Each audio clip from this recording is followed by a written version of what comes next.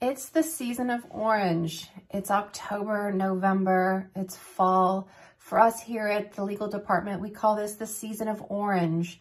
And for us, this is our season of gratitude. We focus on gratitude for our amazing clients and we focus on gratitude for our amazing community partners. This month, we're focusing on our clients. And so this legal report is all about clients, our clients and your clients. How can you better serve your clients? How are you improving? How are you improving yourself? And how are you improving your business? And what are you doing to upgrade your business?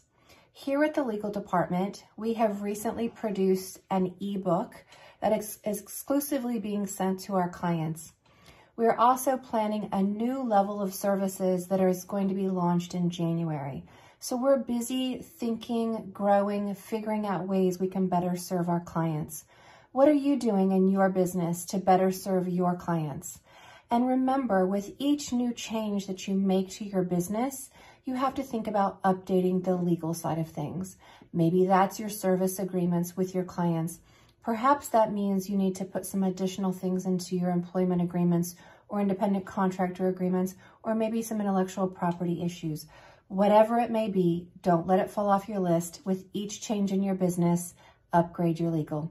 If there's anything we can help you with here at the legal department, please reach out and help ask us to help. We are so grateful for you and all of our clients and community partners during this season of Orange.